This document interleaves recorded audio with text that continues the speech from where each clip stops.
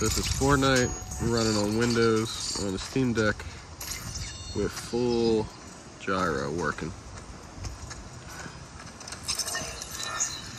Works really well. Once I take my finger off, no more gyro, so it works the same way as SteamOS. Works the exact same way. And uh, makes it easy to aim. I can also move the cursor around like that too. And uh, yeah, it just works really well. Windows 10 on the Steam Decks come a long way already.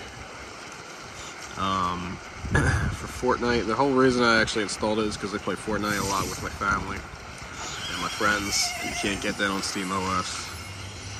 Um, usually in performance mode, I'll get usually 20 to 30 here when I'm jumping. As soon as I hit the ground, I get like a fairly stable 50 to 60.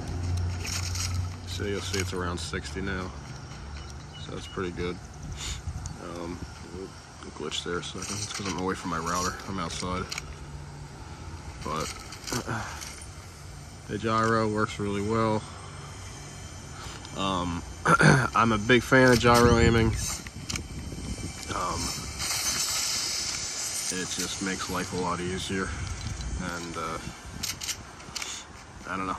it just works out for me. Feels good. Works on every single game. Um, if you hit the Steam button here, you get the actual Steam overlay, same way you do on Steam OS, but you get that on Windows too. Then you go into controller configuration here, and you can actually reassign your sticks and all that if you want to. I know it's hard to see because I'm outside, but works the exact same way it works on Steam OS. So Valve is very committed to making the Steam Deck work with Windows. They've been very transparent about it being a PC. There you go.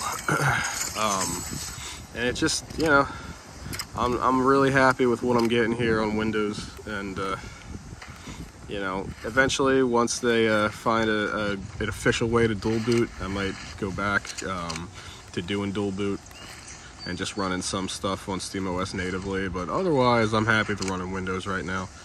Um, works out okay, and uh, yep, I'm happy with what I'm getting.